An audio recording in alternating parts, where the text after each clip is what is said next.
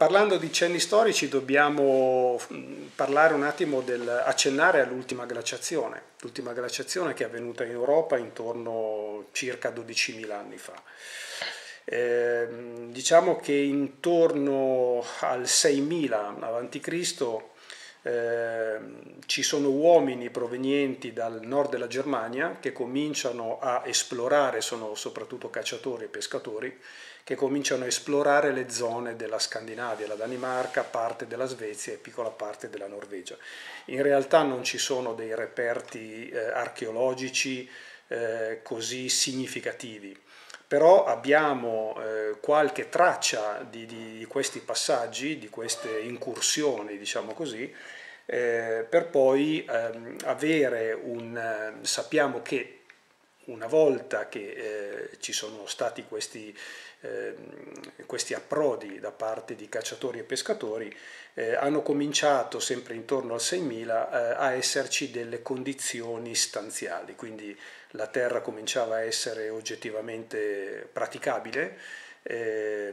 e di conseguenza eh, alcune popolazioni hanno cominciato, alcune piccole tribù hanno cominciato a essere stanziali in queste zone della, della Scandinavia.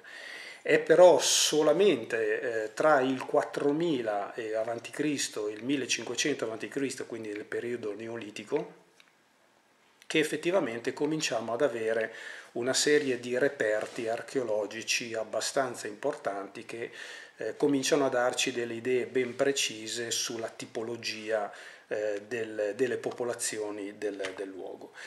Tant'è che eh, appunto in base ai reperti che si sono trovati si stima che intorno al 3000 a.C. esiste un tipo di cultura contadina che ha una struttura sostanzialmente matriarcale.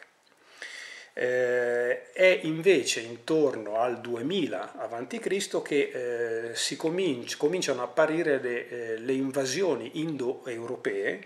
in modo particolare eh, quella del popolo, definito così, il popolo dalle asce di combattimento. Questa è un po' la parte che più ci interessa perché l'impatto che queste popolazioni eh, indoeuropee hanno sui locali è una, un impatto molto forte, tant'è che esiste, si scatena appunto una guerra, che poi nel mito la troviamo come la guerra tra gli Asen e i Vanen, cioè gli Asen sono popolazioni guerriere, mentre i Vanen sono più popolazioni contadine. C'è uno scontro abbastanza feroce che si protrae per diversi anni, ma che porta sostanzialmente a, un, a una pace, una pace molto importante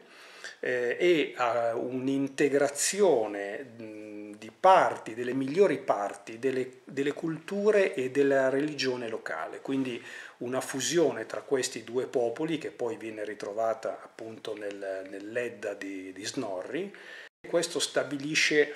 un, una pace molto importante e anche un'unificazione di queste due culture eh, dove una, come quella degli Asin, è di tipo patriarcale, mentre quella dei Vanen è di tipo matriarcale. E questa, questa integrazione, come dicevo prima, è molto importante perché porterà a tutti gli effetti a, a, a, un, a, creare una condizione unica che poi è quella che in qualche modo a noi è stata tramandata e parliamo in modo particolare dell'aspetto spirituale e magico religioso.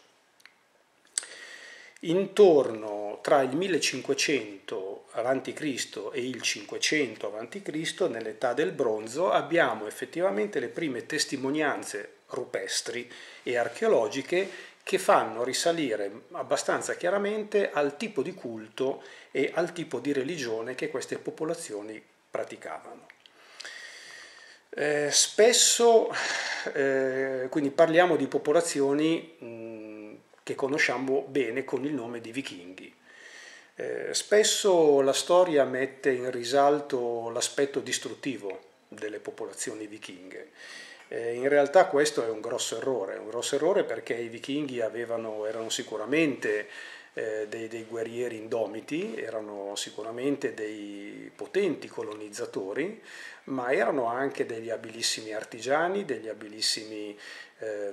navigatori. Eh, sappiamo che dalla Svezia alla Danimarca, alla Norvegia sono poi passati in Islanda, hanno stabilito rotte con la Groenlandia, con il Labrador, con l'isola di Baffin, le terre baltiche, la Russia, sono addirittura arrivati a Costantinopoli, a Baghdad.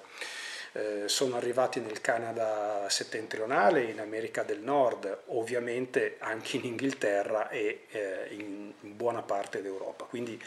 erano un, ehm, eh, delle popolazioni ehm, molto abili nella navigazione, hanno stabilito queste rotte non solamente come eh, volontà di colonizzazione, ma anche come eh, rotte commerciali. C'è da fare un, eh, nell'ambito storico c'è da fare una distinzione molto importante tra quello che eh, eh, è la cultura societaria eh, tribale dei vichinghi, eh, dei, delle popolazioni del nord meglio, e quello che invece sono, erano i vikingar, cioè i, effettivamente i vichinghi. Perché eh, le popolazioni stanziali, chiamiamole così, cioè quelle che eh, vivevano in, in, piccole tribù, eh, avevano un'idea molto forte del, della sippe. La sippe è quella comunità familiare dove gli individui sono legati tra di loro da dei fortissimi vincoli di fedeltà, di lealtà reciproca e di collaborazione, di sostentamento. Eh, I vichinghi erano invece, ehm, propriamente detti, erano invece quel gruppo ristretto di guerrieri eh, che Tacito eh, chiama, chiamava comitatus, eh, che eh, seguivano un condottiero mh, nella cui figura riconoscevano effettivamente un capo, un leader, il proprio ideale di vita. Quindi erano tutte quelle, quei guerrieri eh, che mm, in qualche modo si ribellavano per motivi generici, si ribellavano all'idea comunitaria e quindi preferivano eh, stabilire delle nuove rotte eh, per colonizzare nuove terre. Una prova di questo è la colonizzazione dell'Islanda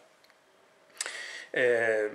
i, i, vichinghi di, di allora non volevano sottostare al crescente potere di Araldo Bellachioma, che eh, in quel tempo eh, stava, eh, si stava espandendo, il suo potere si stava espandendo in maniera significativa in Norvegia. Ecco, detto questo, coloro che non eh, volevano sottostare a questa nuova autorità eh, preferirono salire sui, sui, drakkar, quindi sulle navi vichinghe, e eh, veleggiare verso nuove, nuovi orizzonti, da qui approdarono in Islanda e ci rimasero. Eh, ecco, i vikingar quindi, mh, pur essendo anche loro chiaramente facente parte delle popolazioni del nord Europa, eh, non, sono, non avevano questa idea eh, della sippe, eh, quindi l'idea comunitaria, societaria del, delle popolazioni più stanziali eh, del, del, nord, ma ehm, avevano appunto questa idea del, della conquista, mm, bramosia di conquista ed è una cosa molto importante che io cerco sempre di sottolineare e che in realtà mh, mm, a differenza di, eh, delle religioni monoteiste, eh, i vichinghi, che ovviamente erano eh, chiamati dispregiativamente, in modo dispregiativo pagani, non hanno mai, così come tante altre popolazioni eh, politeiste, non hanno mai imposto alle popolazioni eh, nei luoghi dove sono arrivati, dove hanno, sono riusciti a colonizzare, non hanno mai imposto eh, la loro religione, a differenza appunto invece delle religioni monoteiste in, cui invece l'obiettivo classico eh, nelle loro mission, nelle loro spedizioni, in modo particolare stiamo accennando a quella cristiano-cattolica, è stato proprio quello di partire con l'obiettivo di colonizzare e di convertire a, alla nuova fede. Questa è una cosa che eh, i vichinghi, come tante altre popolazioni politeiste, non hanno mai fatto. Eh, vedo che è arrivata una,